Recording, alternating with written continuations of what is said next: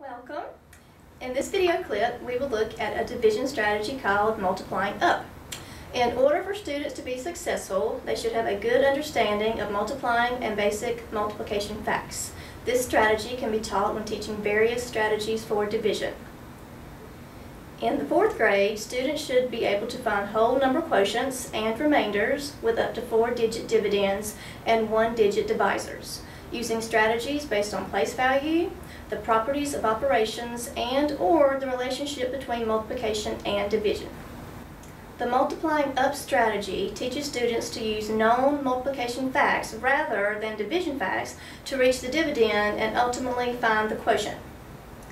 When initially introducing the strategy, I would model on the smartboard.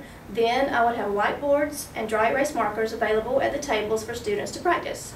This is how I would model the strategy. Okay, boys and girls, we have been learning about division. We know that dividing is sharing equally. In fourth grade, I have to teach you different strategies for division. We also know that division is related to multiplication. I'm going to show you a way to use multiplication facts to solve long division problems. All right, we're going to do 68 divided by 3.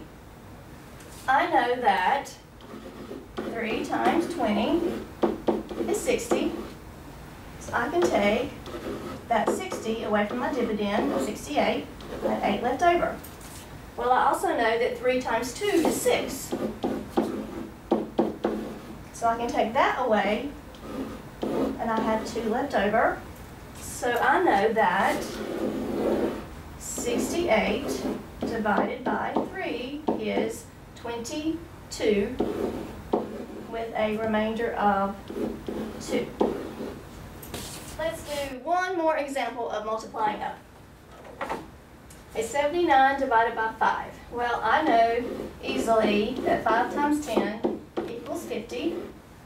I'm going to take that 50 away from my dividend of 79, and I have 29 left.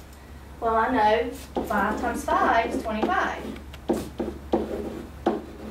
I'm going to take that 25 away, and I have 4 left over.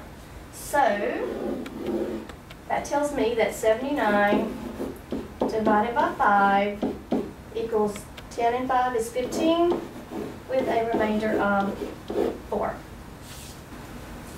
I would probably model at least two or three more problems on the smartboard, calling on students to help me finish the problems.